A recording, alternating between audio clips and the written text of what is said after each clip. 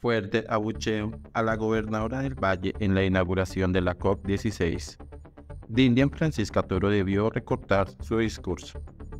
Al final, el video de la gobernadora Dilian Francisco Toro en su discurso en la COP16 en la cual fue abucheada.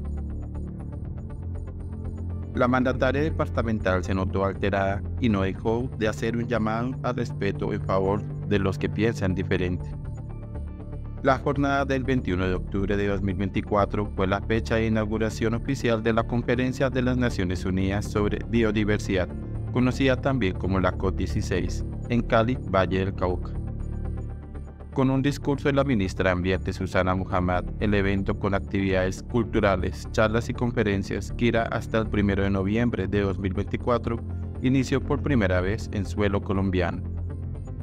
No obstante, en una de las actividades finales que tuvo lugar al cierre de la jornada, en la que participaron tanto el alcalde de la capital vallecaucana, Alejandro Eder, como la gobernadora del departamento, Dilian Francisca Toro, el público se desató en abucheos, especialmente contra Toro, con consignas en las que gritaban Petro, Petro, Petro y fuera, fuera, fuera la gobernadora decidió levantar su voz a pesar de que estaba usando un micrófono y expresó, qué bueno que este fuera un escenario y un espacio para la paz y para respetarnos.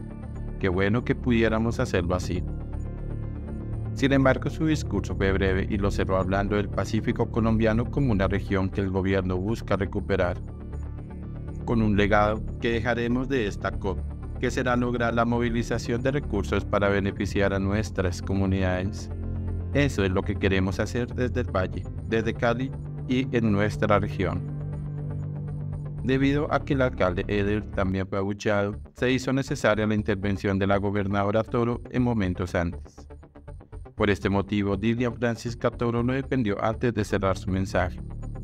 Qué bueno sería lograr lo que dice el alcalde, que así como organizamos esta COP16, porque todos trabajamos para que este evento fuera posible, así también ustedes, quienes piensan diferente, pudieran estar reconciliados en algo tan importante y dar un ejemplo de respeto por esta región que tanto queremos. Con un tono de voz elevado cerró sus palabras antes de dar media vuelta y salir del escenario, acompañada por los gritos de la audiencia que pedía que se retirara. La respuesta de la gobernadora. Unas horas después de que se divulgara el abucheo, Tono publicó en sus redes sociales un mensaje en el que dejó claro que estas manifestaciones hacen parte de la división política que se vive en el país. Estas fueron sus palabras. Toda una vida en servicio público me ha enseñado a escuchar y dialogar. Así como los abrazos, las sonrisas y el cariño de los ciudadanos hacen parte del día a día, también los llamados abucheos llegan de vez en vez y son reflejo de la polarización en nuestra democracia. Eso sí, seguiré creyendo y propiciando el diálogo con respeto y mi cariño con el ciudadano siempre sigue intacto, porque es una vocación de vida, incluso para las minorías movidas por el odio, a quienes también debemos escuchar, dijo. El discurso de Dilda Francisca Toro en el evento de apertura de la COP16 Horas antes, la gobernadora del Valle del Cauca emitió un mensaje para destacar la importancia de la región como un epicentro de biodiversidad durante la inauguración de la COP16 en Cali. Según información oficial, la mandataria expresó que el Valle del Cauca y la región del Pacífico colombiano albergan el 30% de la biodiversidad de Colombia, lo que convierte a esta área en un punto crucial para la conservación y el estudio de la diversidad biológica.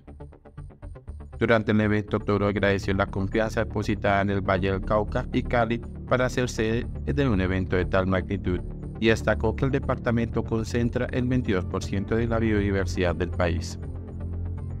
La gobernadora enfatizó que la región está preparada para enfrentar los desafíos ambientales y trabajar en armonía con la naturaleza, un compromiso que busca dejar un legado de paz en el entorno natural. El evento también contó con la participación del presidente Gustavo Petro, quien dio la bienvenida a los asistentes y destacó la importancia de la cumbre para el país. La COP16 se desarrollará durante dos semanas ofreciendo una plataforma para conferencias y actividades centradas en la biodiversidad y la sostenibilidad.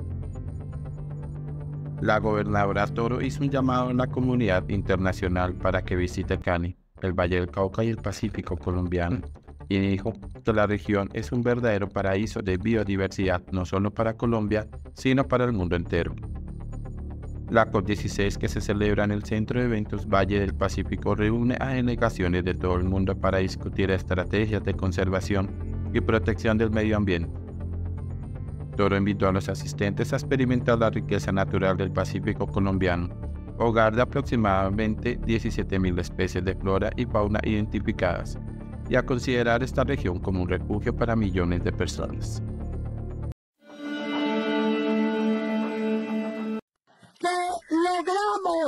trabajar de la mano todos, con el alcalde, con el gobierno nacional, con el gobierno municipal, con los gobernadores del Pacífico colombiano, el poder haber logrado traer, y en eso queremos darle las gracias al presidente y a la ministra por haber logrado traer este evento importante al Valle y a Cali. Qué bueno que podamos visibilizar las cosas lindas del Pacífico, del Valle, la biodiversidad que vivimos. Qué bueno que pudiéramos mostrar esa gente amable, esa gente hospitalaria, alegre, como decía el alcalde de Cali. Qué bueno que todos ustedes, porque yo creo que esta es una ciudad en donde hay, personas de todo Colombia, pero sobre todo del Pacífico colombiano, al cual queremos, al cual queremos recuperar. Y esto lo vamos a hacer con un legado que vamos a tener de esta COP. Y ese legado va a ser el poder lograr que haya movilización de recursos para que podamos beneficiar a nuestras comunidades. Eso es lo que queremos hacer desde el valle, desde Cali y desde nuestra región.